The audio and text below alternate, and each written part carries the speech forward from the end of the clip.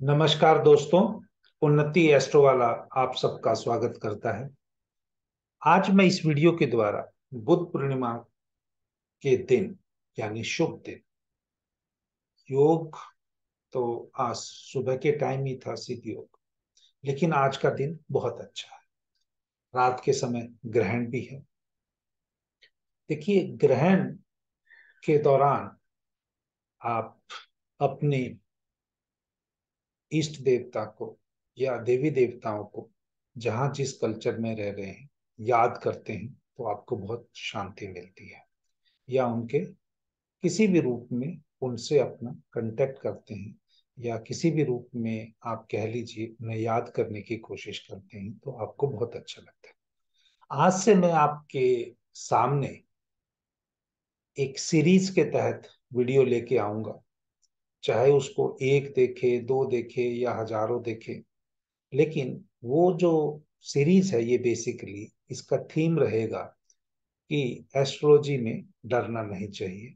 Astrology में astrologer को बहुत बड़ी बड़ी बातें नहीं करनी चाहिए। आजकल मुझे मालूम है सभी एस्ट्रोलॉजर भविष्य मल्लिका के विषय में बात कर रहे हैं, जो बहुत साल पहले लिखी गई है। मुझे उसमें कोई भी डाउट नहीं है। मेरे पास भी वो किताब है और मैं भी उसको पढ़ने की कोशिश कर रहा हूँ। लेकिन मेरा, बाकी सब लोगों से एक अलग मत है। वो मत ये है कि जब तक आप जीवित हैं, जब तक आपने, आपकी प्रभु ने ड्यूटी लगाई है कि आप जिए, तब तक अच्छे मन से, बगैर माइंड में कोई डाउट लाए, आप जिए। और अपने समय का सदुपयोग करें। मेरी एस्ट्रोलॉजी कभी भी ये नहीं रहती कि मैं लोगों को डराऊं। बाकी सबकी अपनी इच्छा है। जो जैसा करेगा, चाहे मैं भी अगर गलत काम करूँगा तो गलत रिज़ल्ट भोगूँगा। अगर कोई और करेगा तो वो भी करेगा। अगर अच्छे कर्म करेंगे तो सब लोग अच्छे रिज़ल्ट मेरा यही कहना है कि जितने भी अच्छे लोग अच्छा कार्य कर सकते हैं। भगवान उनकी अवश्य ही सहायता करेंगे। कौन जीवित रहेगा, कौन नहीं रहेगा, वो परम पिता परमेश्वर पर छोड़ दें और सब लोग अच्छे कार्य करने की कोशिश करें। देखिए, बुद्ध पूर्णिमा के दिन आप अपनी बुद्धि की शरण में जाएँ, अपने जो नियम है, प्रकृति के नियम है उनकी शरण में जाएँ। और आप अच्छे लोगों का संग करें, उनकी शरण में जाएँ। तो यहाँ पे बुद्धम शरणम गच्छामि, धमम शरणम गच्छामि, संगम शरणम गच्छामि, ये सब इसी चीज़ की तरफ़ इंडिकेट कर रहे हैं। हमें ये भी मालूम है कि भगवान बुद्ध को भी विष्णु के अवतारों में गिना जाता है। अगर हम किसी भी रूप में भगवान विष्णु, आप चाहे श्री राम का नाम लेते हैं, चाहे श्री कृष्ण भगवान का लेते हैं, या किसी और रूप में आप लेते हैं, अगर आप जुड़े रहेंगे और सही रूप से बुद्धि का, प्रकृति के नियमों का और अच्छे लोगों का संग करेंगे या दूर जाकर अच्छा संगत और लोगों के लिए क्रिएट करेंगे आपका कुछ बुरा नहीं। होगा जब मैंने भृगुनंदी नाड़ी पढ़ाना शुरू किया था, एक इंसाइट मेरे अंदर आई थी कि पेड़ पौधों के अंदर भी जीव है, इंसानों के भी जीव है। जितनी आत्माएँ भगवान ने बनाई हैं, वो आत्माएँ फिक्स है। पहले पेड़ पौधे ज़्यादा थे, इंसान कम थे। अभी इंसान बहुत ज़्यादा हो गए हैं पेड़ पौधे कम हो गए क्योंकि पेड़ पौधे भी बोलते हैं, आपस में कम्युनिकेट करते हैं, उनमें भी एक लाइफ साइकिल है। और ये मेरे बहुत पहले, आज से डेढ़ दो साल पहले जब मैंने भृगुनंदी नाड़ी पढ़ाई, उस बैच के स्टूडेंट्स को पढ़ाया है, जो ये वीडियो देखेंगे अगर बाद में, उनको भी पता चल जाएगा। क्योंकि आपको नहीं पता है कि आप नेक्स्ट जीवन किस रूप में लेने वाले हैं, कर्मों के हिसाब से। आप पेड़ पौधे के रूप में लेंगे एनिमल के रूप में लेंगे या इंसान के रूप में लेंगे, अगर आपको इंसान का रूप मिला है, इसको अगर आप बदतर कर देंगे तो इस साइकिल का जो भी पीरियड चल रहा होगा, इंसान का शरण जब या जन्म हमें मिलता है तो यही कहा जाता है कि हम अपने इतने अच्छे कर्म कर ले कि हम जन्म मरण के साइकिल से बाहर आ जाए, यानी मोक्ष प्राप्ति की ओर बढ़ सके। अब कितने किसके जीवन है, ये भी आज की क्लास का विषय नहीं है।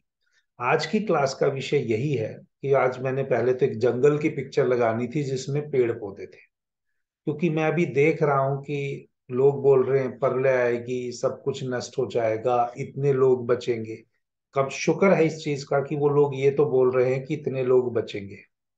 नहीं, उनका बस चले तो वो कहें कि कुछ भी नहीं बचेगा। तो उसी बात को आगे बढ़ाते हुए मेरा ये मानना है कि जितने लोग बचेंगे, उनमें से आप ही क्यों ना बचे? अगर आपके बचने का जो स्कोप है, वो अच्छे कार्य करके बचने का स्कोप है तो आप अपनी बुद्धि का यूज़ करें अपनी प्रकृति के नियमों का फॉलो करें और अपने अच्छे संग का फॉलो करें, अच्छे आचरण का फॉलो करें और आप खुश में ज़िंदगी बिताएँ। ये उससे संबंधित बात है। अगली क्लास में कुछ और बात करूँगा, लेकिन आज का क्लास का टॉपिक क्या है? अभी हमारे हिंदुस्तान में, जैसा मैं भृगुनंदी नाड़ी में कंसेप्ट लगाता हूँ, उसके हिसाब से हम सेवेंटी सिक्स ईयर में चल रहे हैं। जब 15 अगस्त आ जाएगी इस बार तो हमारा सेवेंटी सेवेंथ ईयर का स्टार्ट हो जाएगा। और वो अगली 14 अगस्त तक चलेगा। तो आप ये मेरे वीडियो जो चाहे प्रोडिक्शन फुलफिल हो, ना हो, मैं कोई वीडियो डिलीट नहीं करता। क्योंकि मैं एक एस्ट्रोलॉजी का छात्र मान के वो चीज़ों को अप्लाई कर रहा हूँ। तो सेवेंटी सेवन्थ ईयर जब इंडिया का स्टार्ट होगा तो उस टाइम से वो साइकिल स्टार्ट होगा और आप देखेंगे बहुत सारे लोग जो विदेश में जाके बच गए हैं पर्टिकुलरली या विदेश में सेटल्ड हो गए हैं, उनका इंडिया वापस आने का साइकिल प्रोसेस स्टार्ट हो जाएगा। हाँ ये कितने साल चलेगा? इसकी बात अभी मैं नहीं कह रहा हूँ, लेकिन कम से कम अभी कुंडली के हिसाब से ये चार साल का साइकिल रहने वाला है। अगर वो 2000 15 अगस्त 2023 से चलेगा तो ये साइकिल आप ये कह सकते हैं 14 अगस्त 2027 के बीच में चलेगा। और किस ईयर पे ज़्यादा लोग रिटर्न करेंगे, एवरेज ये किसी और कुंडली में या किसी और वीडियो में मैं आपको बताऊँगा, लेकिन ये साइकिल जो है, ये खाली विदेश से आने का नहीं है कि मान लीजिए कोई north Indian person south India में जाके बस गया है। ये उसके लिए भी अप्लीकेबल है। मैं नहीं कह रहा कि वो वहाँ से छोड़ के आ जाएगा, लेकिन वो अपने जहाँ बेसिक रूट्स पे बिलोंग करता है, वहाँ पे जाके कोई प्रॉपर्टी खरीदेगा या कोई इन्वेस्टमेंट करेगा, वो एक अपना ऑप्शन रखेगा कि मुझे वापस आना है तो मैं वहाँ हूँ जहाँ पे पैदा हुआ।